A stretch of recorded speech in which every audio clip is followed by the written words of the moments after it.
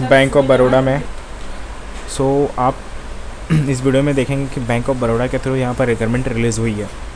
तो उसको कैसे अप्लाई करते हैं क्या क्या बताई गई है क्या क्या यहाँ पर दिखाई गई है कैसे क्या करना होता है कि किन किन सारे पोस्ट के बारे में यहाँ पर है और वो कहाँ से अप्लाई कर सकते हैं उसका लिंक भी बताऊँगा लिंक भी दे दूँगा।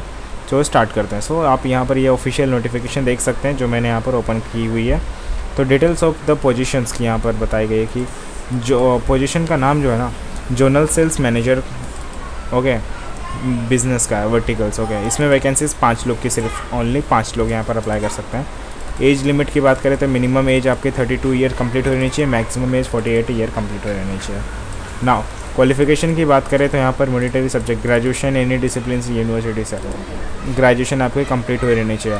Post graduation degree diploma management banking sales marketing credit financial ये प्रीफर्ड करता है। अगर आप ये सब किए हैं ना तो कोई भी पोस्ट अप्लाई कर सकते हैं। मतलब ये पोस्ट के लिए आप एलिजिबल हैं, ठीक है? अब इन इन सारे पोस्ट के लिए एलिजिबल है, जितना पोस्ट बताया गया। है कौन कौन से पोस्ट यहाँ पर ये पोस्ट ये पोस्ट और ये पोस्ट है वन टू थ्री तीनों पोस्ट के लिए यहाँ पर इजी अवेलेबल रहेंगे, अगर ये सब पोस्ट किए हैं तो।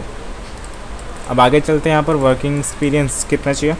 वर्क अब यहाँ पे आ गए ओके तो मिनिमम ट्वेल्व ईयर्स का वर्किंग एक्सपीरियंस यहाँ पर experience in the sales of assist sides of preferable okay preferable preferable okay M S M E M S M E M S M E business candidates having the leadership interest experience as the under graduation okay under will be preferred. Team handling of more than 20 sales employee as sales head, area sales manager. Minimum year twelve year का experience यहाँ पर चाहिए in the tales तो ये आप देख सकते हैं, सारे अलग अलग पोस्ट के अलग अलग यहाँ पर एक्सपीरियंस क्वालिफिकेशंस यहाँ पर सब सेम है. बाकी यहाँ पर वैकेंसीज अलग है एज लिमिट की अलग बात है.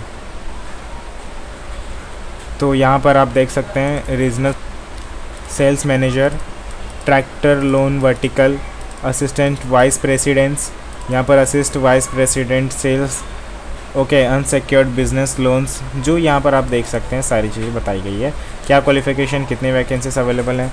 कितना आपकी एज हुई रहनी चाहिए तो आप इसको अप्लाई करने को काबिल होंगे। तो ये सारी चीज़ें आप देख सकते हैं, ठीक है? अब यहाँ पर इजीली बता दिएगा इसी तरीके से बहुत सारे पोस्ट है, जितने भी पोस्ट है यहाँ पर। सबके बारे में यहाँ पर बताया गया। तो मैं यहाँ पर सारी चीज़ दिखा दिया, बाकी आपको जो भी पसंद आए, जो भी आपके काम का, जो भी आपके रिलेटेड होगा, जिसमें भी आप इंटरेस्टेड होंगे, जिस पोस्ट को आप अप्लाई करने को एलिजिबल होंगे, वही आप ज़रूर करना, ठीक है? तो क्रेडिट हिस्ट्री यहाँ पर आप देख सकते हैं क्या क्या बोला गया, वो पढ़ ले सकते हैं। रिजर्वेशन इन पोस्ट में देख सकते हैं position S T S T में कितना क्या है, वो देखने को मिलता है आपको, ठीक है? आप समझ गए? ओके। स्क्रॉल डाउन करनी है और यहाँ पर अप्लीकेशन फॉर्म की फ़ीस लगती है। जब आप अप्लीकेशन फॉर्म फिल करके इसको अप्लाई करने के लिए, इस जॉब को अप्लाई करने के लिए जो फॉर्म भरते हैं उसका फ़ीस लगता है छः सौ रुपये जो अप्लीकेबल है taxes payment gateway charges general E और ओबीएस के लिए कैंडिडेट्स के लिए। सौ रुपये लगेंगे अप्लीकेबल टैक्सेस और payable gateway charges S T S C P W D women के लिए।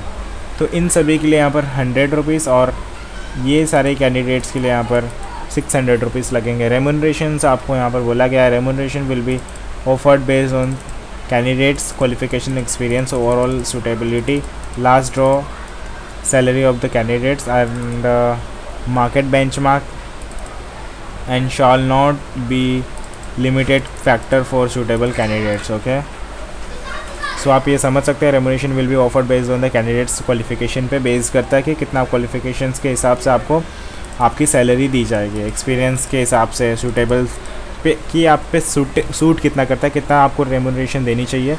आपकी उतनी मतलब अंदर से वो कैपेसिटी है, उतनी सूटेबल है या नहीं है, उस सैलरी के लायक है कि नहीं, वो उस पर डिपेंड करता है। मतलब आप, उस हिसाब से आप दिखाना पड़ेगा आपको। नेचर ऑफ़ एम्प्लॉयमेंट ये देख सकते हैं। और यहाँ पे सिलेक्शंस प्रोसीडर है, वो भी देख सकते हैं। हाउ टू अप्लाई कैसे करना होता है, वो देख सकते हैं। Guidelines for filling online application form ये बताया गया गाइडलाइंस वगैरह के लिए। ये देख सकते हैं पेमेंट ऑफर्स कितना फ़ीस लगेंगे, वो सब कुछ स्टेप बाय स्टेप अनाउंस कौन से वेबसाइट पर होता है, ये वेबसाइट पर अनाउंस होता है तो आप यहाँ पर देख सकते हैं। यहाँ पर भी सारी चीज़ें बता दी गई है। तो ये ऑफिशियल नोटिफिकेशन है, जो बहुत बड़ा नोटिफिकेशन है, जो पूरा पूरा डिटेल दिया गया है इस पोस्ट को अप्लाई करने के लिए। तो आपको कोई भी परेशानी नहीं होगी, आपको मैंने डिस्क्रिप्शन बॉक्स में लिंक दे दिया हुआ है सो स्टार्ट करें।